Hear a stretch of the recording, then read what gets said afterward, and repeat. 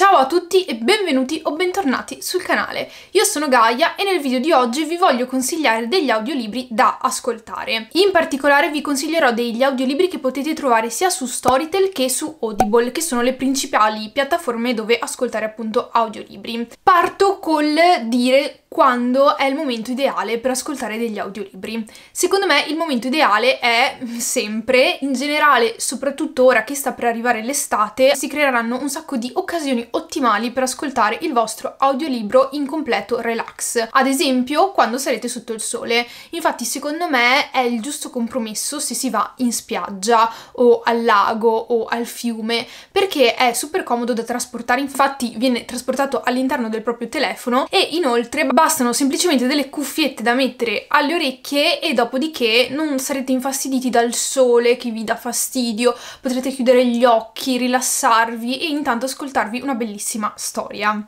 Qui ovviamente si sta parlando di momenti eh, meravigliosi che non sono sempre possibili da vivere, infatti oltre ad ascoltarli in questi momenti di estremo relax è possibile ascoltarli mentre si sta facendo qualcosa, quindi da una parte essere produttivi, ad esempio eh, pulire casa, sistemare, svuotare lavatrici, lavastovigli, farsi la doccia, eh, fare tutte quelle cose che si fanno insomma in casa ma anche andare a camminare, eh, spostamenti vari in macchina, insomma queste occasioni qua ed essere allo stesso tempo produttivi produttivi nel senso che si sta comunque ascoltando un libro. Quindi se siete quelle persone che odiano leggere perché odiano doversi fermare un attimo, gli audiolibri saranno la vostra salvezza. Detto questo, non sempre è facile trovare l'audiolibro adatto alle proprie esigenze. Ne ho selezionati un po' per tutti i gusti e mentre ve li citerò vi dirò anche quali sono in generale le atmosfere che troverete in questi audiolibri in modo tale che possiate capire se fanno al caso vostro o no. Allora, inizierei con un libro che secondo me fa un po' al caso di tutti,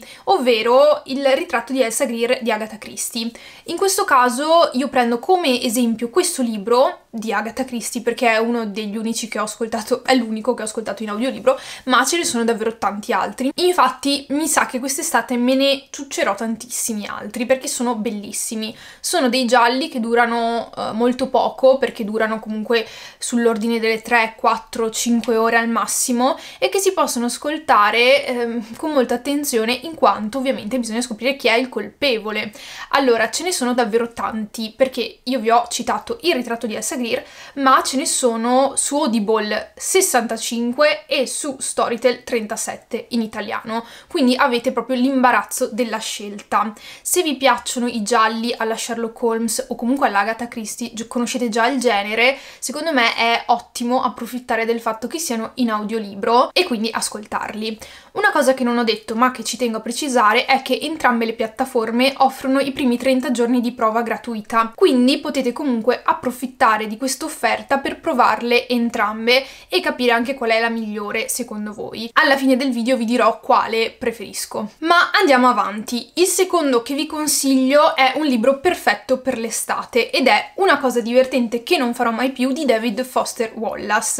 Ho davvero adorato questo libro. È un libro che viene letto con un tono incredibilmente ironico, come lo è appunto la scrittura di David Foster Wallace. Le vicende narrate si ispirano a fatti reali, anzi sono fatti reali. Infatti David Foster Wallace, l'autore, è stato invitato tramite una testata giornalistica a presenziare come giornalista al viaggio di una crociera. Lui quindi decide di andare e scrive in questo libro quello che è a tutti gli effetti la sua esperienza, ma la descrive in modo davvero sarcastico, ironico, si prende in giro, prende in giro quello che accade nelle crociere, prende in giro chi decide di fare delle crociere e insomma si ride tantissimo, cioè io penso che sia il libro con cui ho riso di più in tutta la mia vita e eh, tra l'altro l'ho anche ascoltato e chi lo legge, adesso non mi ricordo il nome, fa morire da ridere, è proprio il, to il tono con cui io me l'ero immaginato letto. Quindi tutto combacia perfettamente, anche in questo caso non mi sembra che sia un libro particolarmente lungo, comunque ve lo consiglio un sacco. Rimango sempre su una storia autobiografica e vi consiglio Volevo solo camminare di Daniela Collu. Vi ho già parlato di questo libro in altri video e l'ho ascoltato appunto su Storytel al tempo, però c'è la, la copia esatta anche su Audible. È letto proprio da Daniela Collu ed è la sua storia autobiografica in cui si narra il suo viaggio a Santiago de Compostela. Ha percorso Daniela Collu appunto appunto Il cammino e in questo libro scritto eh, successivamente racconta che cosa ha imparato, come è stato e insomma che cosa è accaduto. È un libro davvero dalla forte carica motivazionale e mi ha coinvolto tantissimo. Mi sono vista proprio camminare mentre leggevo, tant'è che l'ho ascoltato spesso proprio mentre facevo lunghe passeggiate e ho, ho, voglia ora di andare a fare il cammino di Santiago e lo farò assolutamente perché sono stata convinta da questo libro. Daniela Collu mi hai convinto, ci, ci, vado a fare il cammino e quindi anche questo ve lo consiglio. Passiamo ora a una storia d'amore barra non d'amore perché vi consiglio La Camera Azzurra di Simenon. Ho ascoltato questo audiolibro in due giorni perché ho iniziato a, leg- ho iniziato ad ascoltarlo ed ero praticamente dentro al 100% e volevo sapere che cosa sarebbe accaduto. Simenon è un autore francese famoso famoso per aver scritto un sacco di gialli con il commissario Magret, se non sbaglio. Non ho mai letto i gialli di Simenon, però questo ve lo dico perché mm, in questo libro La Camera Azzurra si percepisce un po' quello che è il ritmo di un libro giallo, anche se a tutti gli effetti non potremmo definirlo un libro giallo. Infatti c'è Tony, che è il nostro protagonista, che sta rispondendo a delle domande sulla sua storia d'amore con la sua amante. Sta rispondendo a queste domande e non si capisce a chi. Ascoltando il libro eh, si aggiungeranno sempre più pezzi alla storia fino ad arrivare a quella che è la conclusione. È un libro davvero che gioca sul non detto ed è uno dei libri più belli che io abbia mai letto, mi verrebbe da dire, anche se l'ho ascoltato, eh, soprattutto perché è un libro che comunque ha un sacco di carica emotiva, romanticismo, cose, bello, bello, molto bello. E quindi vi consiglio anche questo. Passiamo poi a un grande classico della letteratura italiana e vi consiglio di leggere, anzi ascoltare, Il Visconte dimezzato di Italo Calvino. Vi consiglio di ascoltare proprio questo perché è quello che ho ascoltato io, ma in realtà potete trovare eh, sia su Storytel che su Audible la trilogia dei nostri antenati al completo, quindi Il Barone Rampante e Il Cavaliere Inesistente.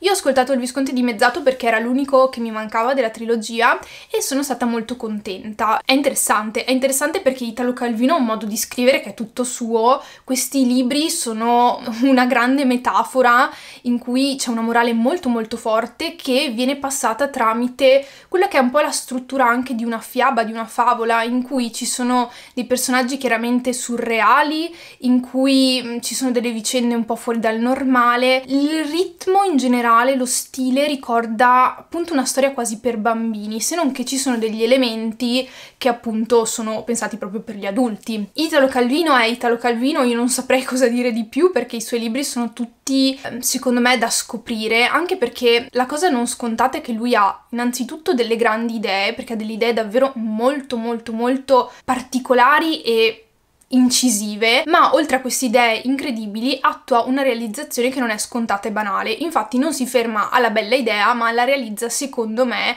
sempre in modo eccelso, supera le aspettative e anche il Visconte dimezzato devo dire che ha superato le mie aspettative. Passiamo poi a Una stanza tutta per sé di Virginia Woolf. Questo libro è il libro tratto da una serie di discorsi, di mm, convegni che l'autrice ha tenuto in merito alla questione femminile nel mondo della scrittura praticamente è stata chiamata a questi convegni per parlare delle donne in letteratura e lei inizialmente appunto avrebbe dovuto parlare di come le donne scrivono, per poi rendersi conto di dover rispondere più do- alla domanda perché le donne non scrivono. Infatti Virginia Woolf appunto ha vissuto un po' di tempo fa e si è resa conto che non erano molte le donne che, che stavano scrivendo, che scrivevano e se scrivevano scrivevano comunque con dei problemi. La tesi del libro è che una donna per scrivere ha bisogno di una stanza tutta per sé ed un compenso, un sussidio diciamo, dei soldi per vivere. E è una tesi molto interessante, secondo me ancora molto attuale il libro in generale è molto attuale e vi consiglio di ascoltarlo in audiolibro perché secondo me è una di quelle cose che non ci si pente di aver ascoltato. Passiamo poi a un altro libro e si tratta dell'uomo che scambiò sua moglie per un cappello di Oliver Sacks. Questo libro è famosissimo, l'hanno letto in tantissime persone e se vi manca da leggere io vi dico ascoltatelo perché è un, una raccolta di storie, anche in questo caso reali e accadute veramente, eh, di salute mentale. Infatti l'autore è un psicologo, mi sembra, un psichiatra, Sì, esatto, è stato anche un professore di neurologia e psichiatria, ho controllato ora, e mh, ha raccolto in questo libro delle storie interessanti di persone affette da malattie mentali, malattie mentali di ogni genere. La cosa interessante è che lui tratta queste malattie con grande e forte interesse e fa appassionare molto alle mh, storie personali di queste persone, appunto, e mh, della stessa malattia potrebbe essere anche che porti, succede anche che porti più casi, in modo tale che sia anche non solo la malattia in sé ad essere indagata, ma anche come la persona si approccia a questa. Le malattie sono tra le più svariate, tra la prassia, l'agnosia, cose di questo tipo,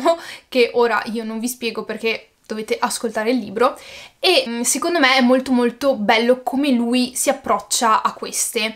È sempre affascinante secondo me studiare la mente umana e capire come funziona, quali sono i collegamenti che la tengono normale e che cosa significa invece anormalità nel funzionamento della mente. La cosa bella, oltre a quello che ho già detto, è che Oliver Sacks non si approccia a queste cose come anormalità in senso negativo, ma molto spesso si approccia a queste anormalità in senso positivo. Non vuole solo cercare che cosa queste persone hanno in meno rispetto al normale funzionamento della mente, ma che cosa queste persone hanno anche in più. E questa cosa secondo me è super. Il libro mi è piaciuto ovviamente tanto e quindi ve lo consiglio. Ma proseguiamo con un grande classico ed è La signora delle camelie di Alexandre Dumas. Questo libro l'ho ascoltato eh, perché ero molto interessata. Tra l'altro ci tengo a dire che l'ho scoperto anch'io dopo averlo iniziato. Alexandre Dumas non è in realtà lo stesso autore che ha scritto I Tre Moschettieri, ehm, poi che cosa ha scritto? Altri libri famosi, ma è il figlio quindi non è la stessa persona. Che adesso cerco che cosa ha scritto Alexandre Dumas perché stavo per dire Viaggio al centro della Terra, ma secondo me non l'ha scritto lui. Sì, sono andata a cercarmi cosa ha scritto Alexandre Dumas perché stavo facendo un po' di confusione. Comunque, praticamente il padre ha scritto I Tre Moschettieri, Il Conte di Montecristo e tanti altri libri molto famosi, mentre il figlio praticamente ha scritto solo questo, che è diventato famoso, ovvero La Signora delle Camelie. È un libro molto interessante, soprattutto se vi piace la società del, dell'Ottocento, vi piacciono roman- i grandi romanzi russi o i grandi romanzi francesi, tipo Madame Bovary, cose di questo tipo, perché siamo sempre sullo stesso filone. In questo caso viene raccontata la storia di questa signora, la signora delle ca- camelie, anche chiamata Margherita, che è una, una donna che vive di amanti. Infatti lei praticamente non si è sposata e mh, tiene compagnia a tutta una serie di signori. La storia viene raccontata eh, dopo la sua morte e quindi noi sappiamo già dall'inizio che lei appunto è morta, è morta giovane. E da lì praticamente tutta una serie di personaggi si ritrovano e iniz- si inizia a raccontare la storia di questa Margherita. È un libro classico, quindi si porta dietro tutte quelle cose, sia positive e negative, che si portano dietro i libri classici. Negative nel senso che ovviamente lascia un po' il tempo che trova, non è neanche un classico così letto e così conosciuto e dopo averlo ascoltato ho capito perché, perché comunque è un classico che cerca sempre di eh, moralizzare molto su, ad esempio, la vita uh, delle donne. Viene, c- si cerca sempre di giustificare il motivo per cui Margherita fa quello che fa, ad esempio. Però è comunque un libro sentimentalmente anche molto potente e, mm, e a me è piaciuto, quindi io ve lo consiglio. Un altro libro che vi consiglio di ascoltare è Il profeta di Kali Gibran. Questo è un libro che vi consiglio di ascoltare soprattutto per come è strutturato l'ascolto. Infatti è un, è un libro che viene letto, ma di sottofondo è costantemente presente quello che è un motivetto una canzoncina, io non so come dire, tipo c'è una musica di sottofondo molto rilassante, sembra quasi un libro eh, dalla forte carica zen, quasi un libro da ascoltare la mattina quando si fa yoga e il profeta di Kali Gibran tra l'altro parla praticamente di tutti quelli che sono degli insegnamenti morali ed etici che questo profeta dà a una, una comunità. Questa comunità gli pone delle domande, queste persone gli pongono delle domande, ad esempio eh, che cosa vuol dire amare, che cosa vuol dire lavoro e lui risponde e risponde dando quelli che sono appunto dei consigli altamente morali, altamente eh, quasi religiosi, spirituali. È un libro che può piacere se vi piacciono le cose di questo tipo, se cercate dei libri motivazionali, se vi piacciono le cose un po' orientaleggianti, vi piacciono gli insegnamenti di vita. Al contrario, se odiate queste cose, questo libro non fa assolutamente per voi. La cosa bella è che ci sono anche dei don all'interno del, del libro che secondo me sono bellissimi e si alternano due voci, maschile e femminile. Questo rende la, l'ascolto ancora più coinvolgente. Tra l'altro, io non l'ho detto, ma spesso e volentieri ascoltando degli audiolibri le voci sono diverse. Infatti, in quasi tutti i libri che vi ho citato ci sono sempre una voce maschile e una voce femminile, che magari si alternano alcune parti in modo tale che eh, ci sia sempre quasi un cambio eh, di ritmo che tiene chi ascolta attaccato appunto alla storia. Ultimo, ma non per ultimo, il libro che vi consiglio è Pastorale americana di Philip Roth. Questo è un grande romanzo americano, Philip Roth è un grande autore americano contemporaneo e io dovevo per forza consigliarvi qualcosa insomma di suo.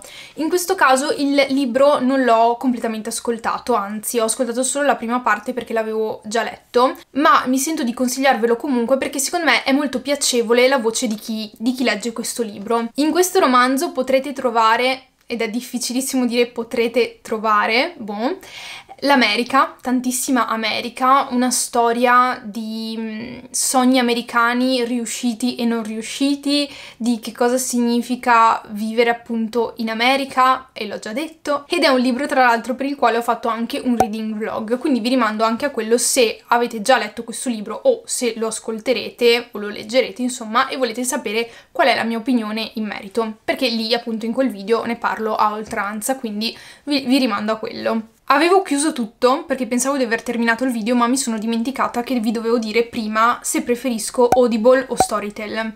Allora, parto dal presupposto che entrambe le piattaforme offrono una prova gratuita di 30 giorni, quindi si possono provare entrambe le piattaforme e capire da soli, in poche parole, quale si preferisce.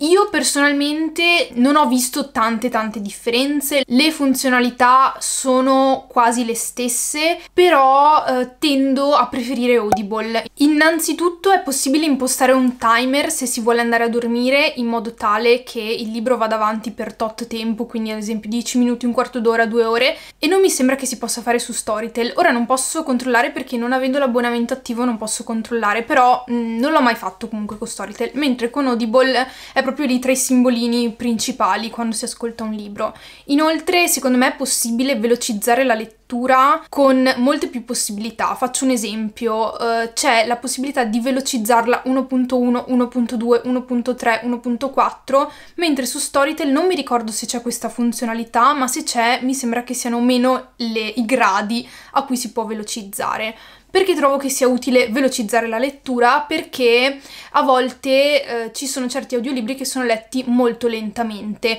e non rispettano quello che è il modo in cui io personalmente li leggerei. Quindi, mh, mm, soprattutto se sto ascoltando l'audiolibro e intanto leggendo, perché a volte faccio anche doppio, eh, questa doppia lettura, diciamo, quindi ascolto il libro mentre leggo perché lo trovo più coinvolgente.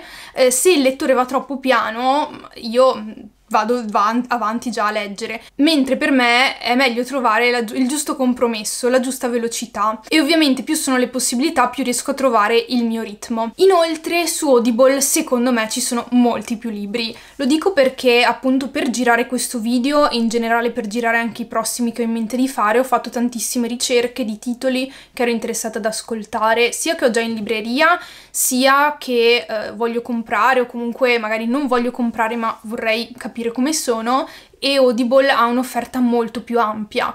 Non tantissimo più ampia, comunque in generale alcuni libri non si trovano su Audible e si trovano su Storytel, quindi ci sono proprio anche delle differenze di catalogo, però diciamo che mh, faccio l'esempio Agatha Christie su uh, Storytel ce ne sono la metà di quelli che ci sono su Audible. E se confronto in questo momento la libreria che ho creato su Audible di libri che voglio ascoltare e quella che ho creato su Storytel ce ne sono molti di più su Audible. Quindi per adesso continuo l'abbonamento con quella piattaforma là e poi farò un po' uno switch.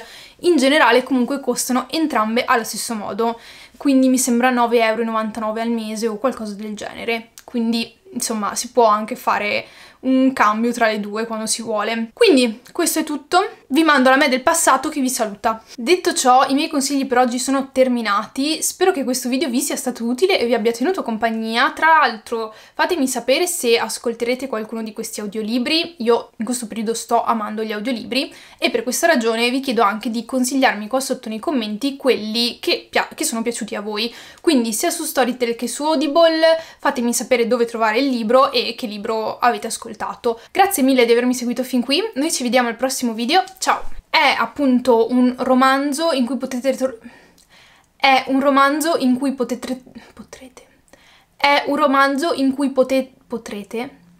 È un romanzo in cui potrete tro... tro... Ma che cazzo...